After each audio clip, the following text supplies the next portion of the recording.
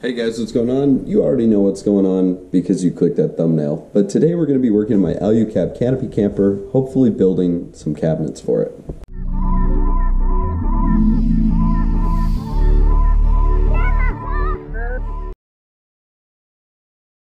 That being said, before we dive into doing this today, be sure you check out my merch store, grab a t-shirt, some patches, some window stickers, some decals, some stuff like that. Help support what we're doing here. Hopefully a bunch of new stuff will be coming out here in February, February, March timeframe. I'm looking forward to it. Thanks for all the support. Here we go. Let's dive in. Okay, guys, so if you watched my last video on the camper, you will know that I built a floor for the inside. We'll take a look at that.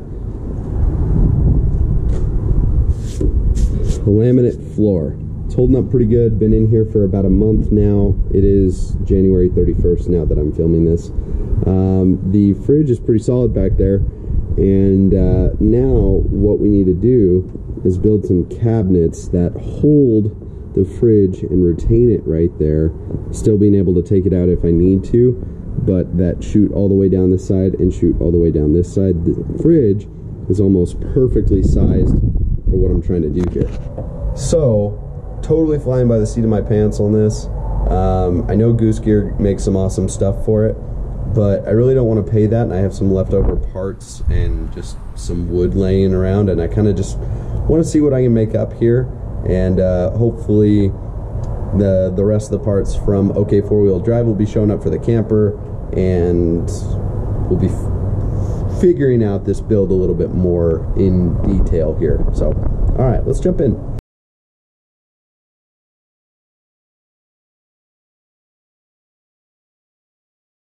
So it's a balmy day here in Utah. Balmy 41 degrees. It's the warmest it's been in a couple weeks. So I figured today would be a really good day. Moth, kind of work on this, just kind of DIY it. First things first, I'm going to try and clean up all of this dirt that's everywhere. Kind of clean up some of the seals. I haven't been doing any like upkeep on this over the last uh, couple weeks since I've been on a couple trips. So I like this stuff. Crud cleaner, crud cutter. I like it. So we're gonna kind of degrease everything, clean everything up a little bit. Then when it's shiny, then we'll get to building.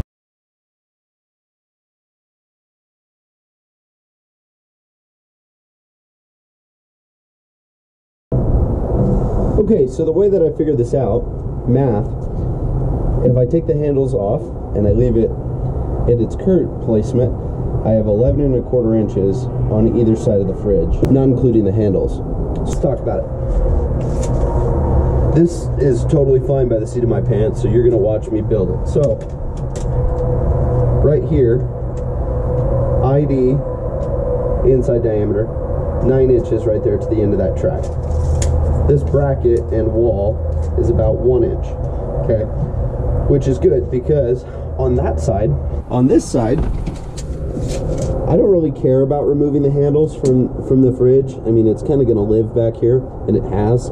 I don't need it for any other capacity, so if I remove the handles, it is what it is. But, right there, I've centered the fridge, math, got 11 and a quarter inches from this wall to that wall.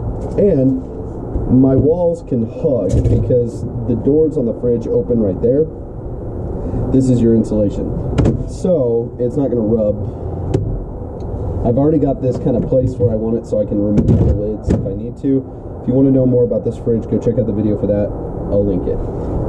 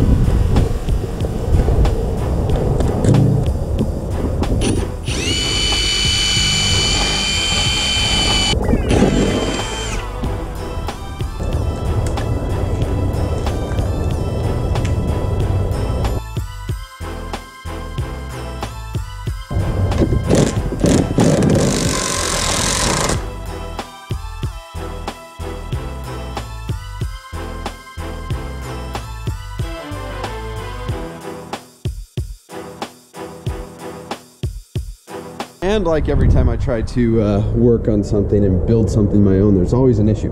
So, check it out. There is this nice little slot everywhere where the bolts will enter and if you have the right size it will retain. Cool. Well there's none along the back. That's an issue. So i'm having to bore one. I'm using a 5 8 bit and it's actually working better than i was expecting so here we go again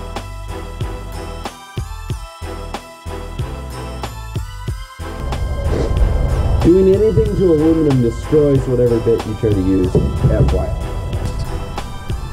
Okay, well, of course, camera always dies whenever I successfully do anything. Um, aluminum destroys your bit. I don't know if you know that, but yeah, so hopefully I'll be able to do the other side.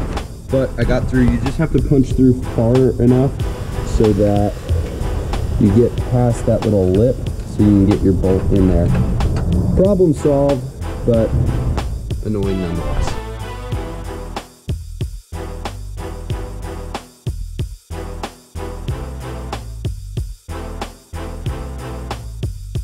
The prices of wood are stupid high. Still not spending as much money on building these cabinets. Uh, I, not even a quarter of what I would if I bought goose gear. Uh, but but $39 for a piece of 7 7 16 uh, plywood too damn much anyways back to building this day two I wanted to get a handle to see uh, if I liked kind of the way that I'm gonna open this I got some um, hinges and some mounting brackets so I can tack the walls in uh, I'm excited. This is going to be good. Hopefully, uh, hopefully we can finish it up today. Today is substantially colder than it was yesterday, um, and it is snowing in the mountains. But first, I needed to stop at Cane's. If you've never had Cane's before, you're missing out. I love Cane's. Okay, guys, so I'm getting a little bit later start on it today than what I wanted. Um, I needed to go to Home Depot and get some parts, and then I was like, oh, I don't have a saw. So I need a saw because I'm going to be making a lot of straight cuts, and that's going to be a heck of a lot easier than using the jigsaw for everything. So went back to my buddy's house and got that. I got my Mr. Buddy heater going because it, it's colder today. Um, anyways, I don't know how you guys are when you work on projects like this, and I figure if you're watching this video, or this video series, you're probably like me and you like to build stuff instead of pay exuberant amounts of money for other people to build stuff and make a profit off of it. Regardless, here it is. Here is my plan. So this is the little trim that goes around the side. This is a basic rough estimate, and this is kind of a side view. This is the window. I got this. I just got plywood because um, I really didn't want to spend uh, a bunch of money on the Birch OSB when I'm sure this build on the inside here is going to be changing a few times. So step one, get everything that I possibly can out of here, including the fridge. Um, and then we'll kind of evaluate later if I do need to take the handles off and whatnot. But the goal is going to be to put basic cabinets on here with top opening uh, drawers on everything. Currently, I am not going to do a side one, even though, yes, I do know my compressor is in there and I know electrical's over there, and eventually they will be opening from the side. But I'd like to get this done and over, and I think that doing it this way is going to be the most uh, beneficial. Basic things that I got, there are three things. I got a couple sets of these little tiny um, yeah, these little guys, little tiny hinges. Couple sets of these. These are just angle brackets. And a couple of these handles.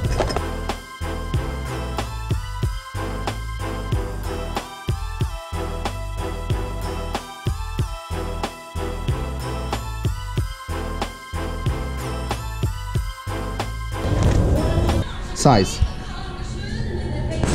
57, this is the top, so from this side. 57 long on the top by 10 inches wide. And then the side, we're going to be at 54 and a quarter uh, long and then 19 high.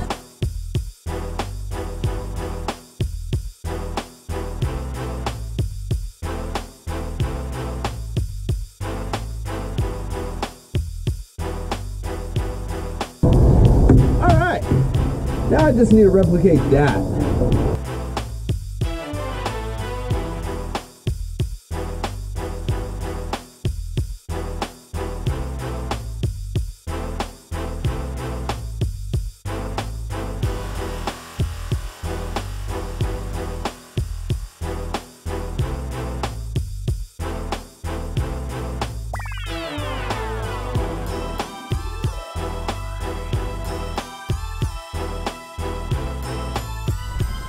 All right, this is kind of annoying to cut out to fit all of that. Let's see. Ah, Boom. Right against the insulation. Perfect. Perfect. Time to sand everything.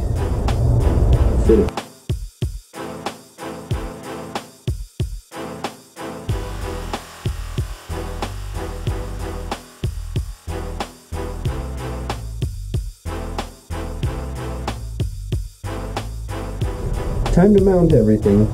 I am closed up in my camper right now because night has fallen and it's cold. Now everything's just going to be getting this at right angles and whatnot, then uh, getting everything down to a T. So let's go.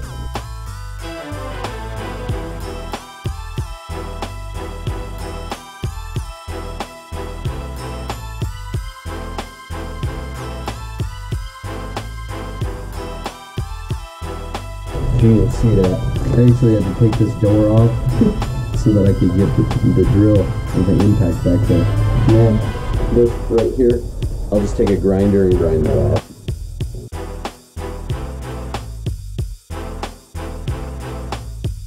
That one's in, that one's in, that one's in, hidden. So, this is this is about where the fridge comes about right here so this won't be seen so that's good. Um mr buddy here's doing his job. And that is really solid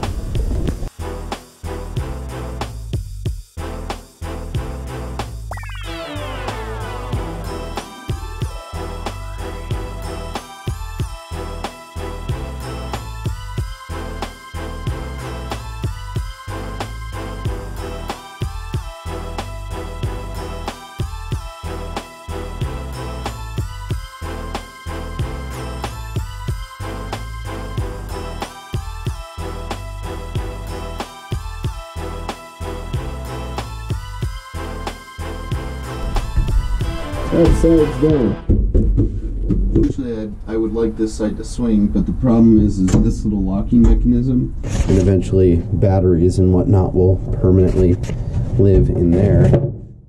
Um, but I'm pretty happy with the way that came out.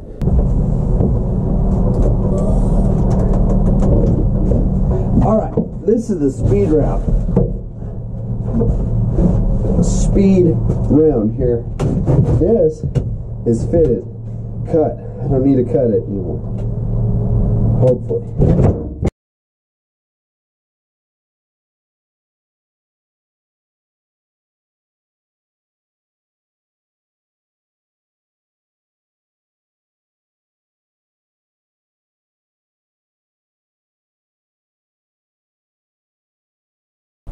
Okay, so this side's done. Cool. There's that one. And there's that one. I'm glad I had that little idea. Because now I can put a little divider in the middle. Call it. I do, however, think that there's a bow in the 2x4 because these were cut straight. Um, and when they stand up, they're almost touching. But as they go down, you can see my fingers there. and as they go down, you can see more of my finger, and then it comes back up and it pinches. so I think this uh, 2x4 is bowed a little bit. I could probably remedy that by uh, putting a kind of a joist across. You can see it supports my body weight. I can stand on it just fine. If I need to, uh, you know, hang Christmas lights up here in the top of my camper or something. so, uh, this is dope. This is super cool.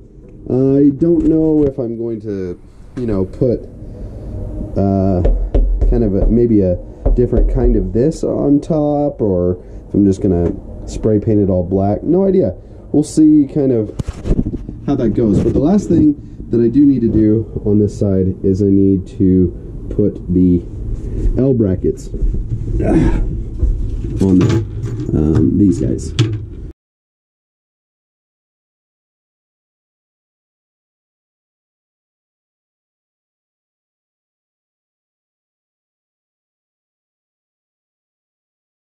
This one, like I said, has to be done from the inside. Um, just in a place where I can get my drill. So it's probably going to have to be right there.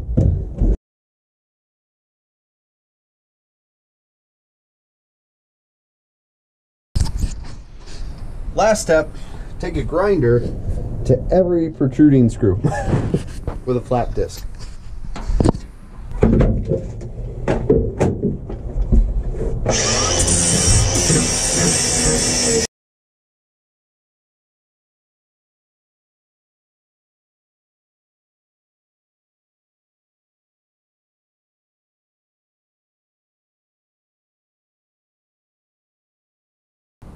All right, guys, we are done for now. Um, functionally, we're done. Now more aesthetics need to be done, but uh, I'm really happy with the way it came out. I'm gonna have to touch it up a little bit, like all things, but uh, check it out. Let me know what you think, and let me know.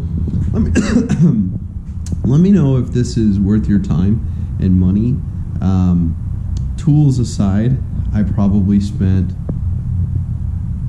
I had a couple two by fours laying around, but those are seven dollars each, and then the plywood was uh, thirty nine dollars, and all the hardware. So I'm about sixty dollars into this, and about four hours, hmm, plus yesterday, five and a half, five and a half hours, and let's just call it seventy bucks.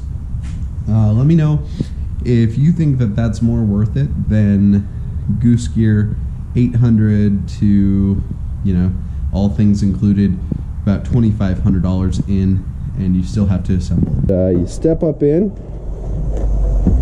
and uh, got my insulation on the back there, but uh, we've got this side. I still need to get two more handles like I did over here. Uh, remember, this side doesn't open this is a long box. Opens up pretty good. You can see inside there. Cool. Still get down to my air pump, all that. I like the little handle there. This side doesn't open, uh, although it will eventually. Need to go over that again with the sander. Not tonight. Got those floor L brackets, L brackets. Cool. Then this side, again, no handles but we've got two doors that open independently. Still can get down there to the other box and my electrical. Cool. They'll close just like that and there still is that gap. I wasn't able to fix it yet. So I probably will get a 2x4 and uh, wedge it right there to uh, push these together. See how it gets bigger. So yeah, let me know what you think. I mean, like I showed you before, I can easily, I mean, the truck is bouncing and uh, I can walk over here and I can do the same. So let me know what you think. Uh, I'm really, really excited.